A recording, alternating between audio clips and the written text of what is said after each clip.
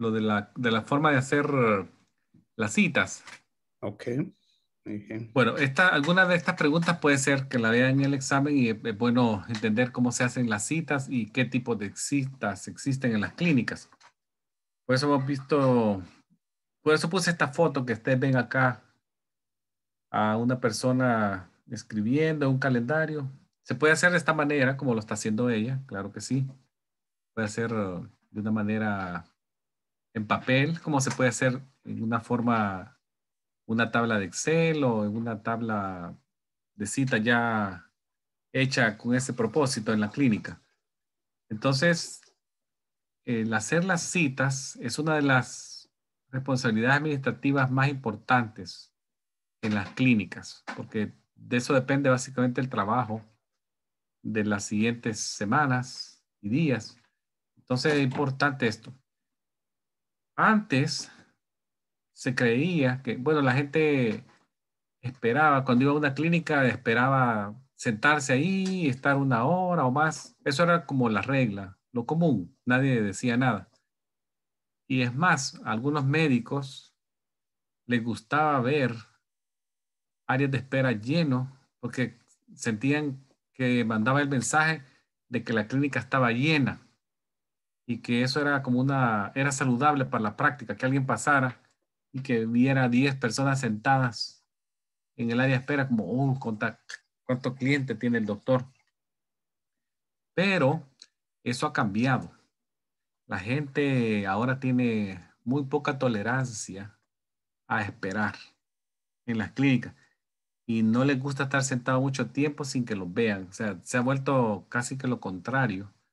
Estaba pasando en los años 70, 80. Ahora la gente, los estilos de vida de las personas han cambiado. Las personas se han vuelto más ocupadas.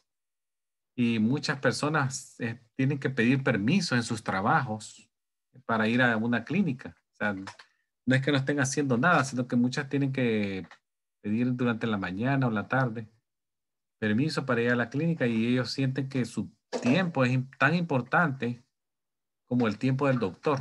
Entonces, quieren que lo vean rápido. Entonces, el hacer la cita de forma correcta y eficiente, como probablemente lo está haciendo esta señorita que vemos en la, en la foto, es crucial para que la operación en la clínica sea de manera efectiva, suave y que no tenga esos baches, esos túmulos que hacen que la clínica por momentos se vea mal. Entonces existen muchos factores que hay que tomar en consideración cuando se hacen las citas. Para mencionarles algunos. Pacientes que hacen la cita semanas o meses antes quieren ser vistos rápido. O sea, ellos lo ven como que alguien está haciendo una compra de un etiqueta de avión. Ven ustedes que hay gente que compra vuelos hace seis meses y dice, ah, de esa manera aseguro el asiento donde me voy a sentar y el mejor precio. Entonces casi piensan igual que con hacer una cita semanas o meses antes, les va a asegurar una cita que nomás lleguen, se check-in, ya lo pasan cuando lleguen a la oficina. Eso hay que tomarlo en consideración. Entonces hay que tratar de, complacer lo más posible al paciente, pero hay que pensar en ello. También los doctores quieren eh, flujos suaves, que no sean que se abarrote la clínica porque todo el mundo se lo pusimos a, a, la misma hora. Entonces, no. Los médicos quieren flujos que se mueva el paciente suave y que se vean todos en el tiempo que fueron programados. Otra cosa, pacientes que llegan con enfermedades agudas, accidentes, también quieren ser vistos el mismo día muchas veces, el mismo día. Y eso también que, otra consideración que tener en cuenta. Entonces, veamos cómo podemos resolver estos casos que se convierten como en dilema para la clínica. Entonces, eh, veamos que hay dos métodos de hacerlo. Uno es manual, como lo dijimos, usando papel y lápiz, libro de citas, y la otra es como usando la computadora de forma electrónica. al final es el mismo propósito, el mismo producto que hacer una cita. Básicamente lo usamos, usamos la forma de hacerlo. A la derecha les pongo una forma de un calendario que cubre de las 9 hasta el mediodía. Y ahí ven ustedes el nombre de los pacientes, la razón por la que llega. El señor Robert dice examen físico. Solamente los exámenes físicos, si es por primera vez, se les da más tiempo. Si es un examen físico de follow-up, puede ser que sea más cortito. Está el número de contacto de la persona, por si hay que hacer alguna cancelación, que el doctor también es humano, puede ser que el doctor se enfermó y no va a llegar. O un paciente, si un cirujano está operando, todavía no, no, ha llegado a las nueve, entonces ahí se necesita el contacto del paciente. Luego tenemos a esta señora a las nueve y media, June, dice James, llega por básicamente un electrocardiograma, otra idea para la vacuna, revisa, eh, una revisión, paciente nuevo, otro examen físico, un niño. Entonces, más o menos así es un, calendario promedio que vamos a ver. Entonces, los criterios más importantes el médico la cita debe, debe de tomar en consideración cuando haga citas, uno es tener una buena relación interpersonal con los pacientes y también reducir la cantidad de tiempo que el paciente tiene que esperar para ver al doctor, o sea, tratarlo de complacer y hacerlo que espere poco. O sea, imposible que llegue y se lo pasa, que solo diga, ya vine, aquí está mi, y se siente y al minuto. No, solamente hay esperas razonables. Cuando uno, nosotros somos pacientes y también nos ha tocado esperar, o sea, nos hacen esperar. Pero no hay que pasarse de, de la raya, como dicen, sino que hay tiempos prudentes de espera. Entonces veamos un poquito sobre de generalidades de cómo hacer una cita. Existen varios métodos disponibles para hacer la cita en la oficina. Dijimos que era una de las tareas más importantes. Eh, veamos cómo podemos resolver esto. El MI, el Medical Assistant, podía seguir una guía. Yo le puse acá siete pasos. Por, alguien puede decir que son más, otro puede decir que son menos, pero les voy a compartir puede ser una generalidad sobre cómo hacerlo lo mejor posible. Por ejemplo, el número uno dice, mantenga la confidencialidad del paciente. Por ejemplo, no hay que discutir información protegida. Eso lo hablamos en la semana pasada, se, van a recordar. Yo dije, no hay que discutir información protegida cuando tenemos a otro paciente cerca. Si usted está en, la, en el front desk cubriéndole a alguien, o ayudándole a alguien. Hay que hablar con, con voz suave al paciente que estamos por teléfono, no a gritos, que me va a ir una persona al otro lado del área de espera. eso es parte de ser profesional y ya empieza ahí usted a hacer una buena acción cuando habla suave y la distancia se tiene que hablar al micrófono del teléfono, no al gritos. O sea, mantener la confidencialidad lo más posible. Número dos dice hablar claro y sin prisa. No hay que usar tono de voz que no es amable. O sea, usemos un tono de voz suave, cortés, amistoso, sin entrar en, broma ni, que, ni amistad con la... El paciente realmente es un cliente para la clínica y hay que tratarlo con respeto y ser cortés. Hablar claro, sin prisa, escucharlo y dar un mensaje correcto. Luego tenemos también concentrarnos solo en la persona que estamos hablando, con la que estamos conversando. No distraernos con, estoy hablando con alguien, pero estoy viendo que están hablando en el pasillo o, estoy viendo el celular. Tengo, estoy hablando tengo el teléfono de la clínica en la derecha y estoy texteando con la izquierda. Eso es muy común también. Me está cayendo un mensaje, lo leo y vuelvo a, ¿qué me dijo? Y ya tomo un teléfono y en vez de seis puse cinco y bueno, concentrémonos solo en lo que estamos haciendo. otra guía que les recomiendo. Número cuatro. Es obtener toda la información necesaria que nos va a servir del paciente.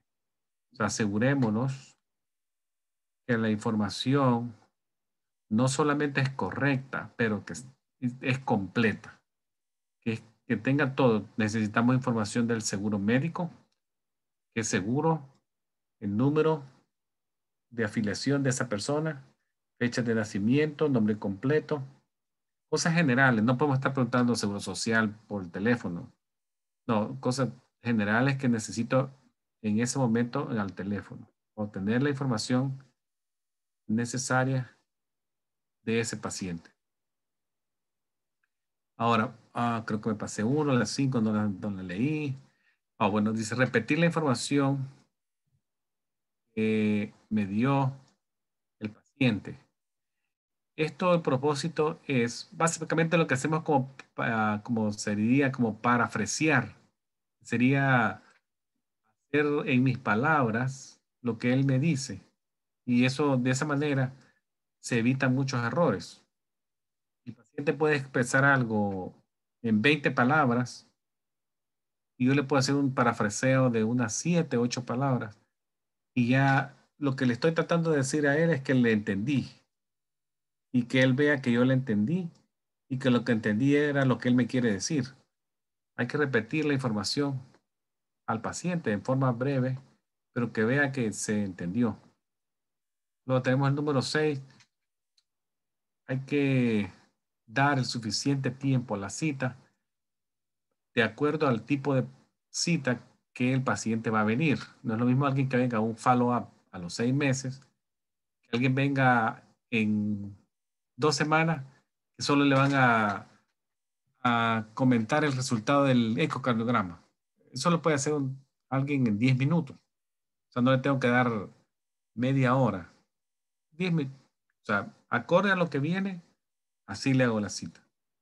De esa manera, me aseguro que si un paciente nuevo viene y requiere más tiempo, lo va a tener. Que ya tengo yo espacio para poner un paciente nuevo que necesita más tiempo que un paciente que ya es conocido para la clínica.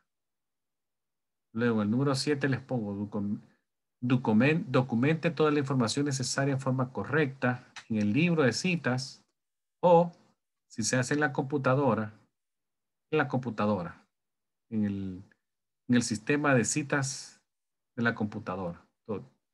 Ahí les di unos pasos del 1 al 7 que son como guías generales que se pueden usar para hacer la cita.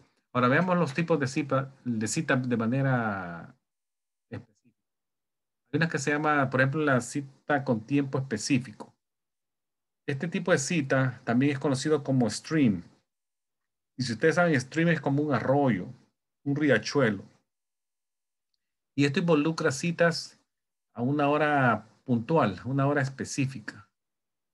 La mayoría de oficinas usan este método de citas y este, el objetivo de este tipo de citas es que minimiza mucho el tiempo de espera de los pacientes y hace un flujo de pacientes bueno, que la oficina está moviendo gente siempre, siempre, siempre, siempre está moviendo gente.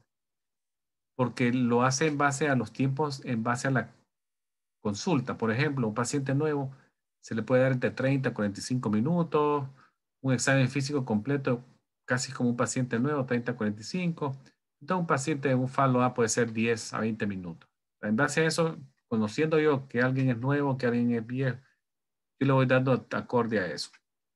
Entonces, de esta manera nos aseguramos que los tiempos permitidos en, en la cita van a, en algún momento, como permitirnos acomodar a alguna paciente que venga de urgencia.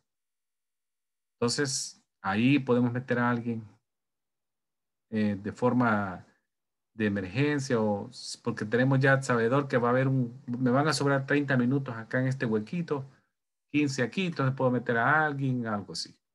Este también se le conoce, además de streaming, las, las citas fijas se les conoce como, también pueden como single booking. Ahora vemos este otro que se llama wave, como olas. Acá lo que se hace es que tres o cuatro pacientes se citan en un periodo de tiempo, por ejemplo, en media hora cito tres, pero no les doy hora exacta. Yo no le, por ejemplo, de tres a tres y media puedo citar tres, pero no le digo a alguien, usted venía a las tres, tres y quince y tres y media. No, entre tres y tres y media. Y es visto en el orden que ellos se arriban a la, o llegan a, a la oficina. El que llegó más rápido o sin saberlo, llegó temprano, pasa temprano. Entonces, algunos pacientes podrían, podrían demostrar un poco de inconformidad o sentirse molestos, y cuando lleguen ya hay uno sentado y que pasa antes que él. Pero con una explicación sencilla que ustedes le puedan dar, le diga que todos los pacientes son vistos en el orden que llegaron y que ya él ya va a pasar, la persona se calma y es visto de forma rápida. El tiempo de espera usualmente en este tipo de wave scheduling son cortos, porque el, el doctor siempre está viendo a alguien, porque están solamente tres en media hora y así como llegaron, se va moviendo. Por eso le dicen olas, llegan en olas y esa ola se mueve. Ahora tenemos este que se llama Open Booking, libro abierto, oficina abierta. Esta el que permite lo que se conoce como el walk-in. Son aquellos que mm, algunos pacientes no requieren cita. Ellos llegan, muchas eh, emergencias, eh, sí, como clínicas de urgencia son open office. ven pacientes de walk-in. El que primero llega, primero se sirve. Si usted le dan alguna cita, le pueden decir que puede llegar entre 9 y 11, por decirle algo. Libro abierto. Entonces, este probablemente sea el mejor método cuando hay un flujo constante de pacientes y que la práctica no es muy, muy ocupada. O sea, permite, la, la clínica no tiene muchos pacientes y permite que va a haber espacios, mucho espacio abierto entre 9 y 11. Puede haber espacios que no, no se mueve a nadie, entonces alguien puede llegar ahí como walk-in y ahí lo meto. Entonces me permite eso ya que el flujo no es predecible. Yo no, no, sé si me va a llegar uno en la próxima media hora, entonces si alguien llega, walking, lo paso. Así sea primera vez, paciente nuevo, con el Open Book, Open Office, lo puedo ver. El otro grupo que se conoce como cluster o categorías. Este es el que, un ejemplo es cuando los pacientes se agrupan en base al tipo de exámenes que les van a hacer.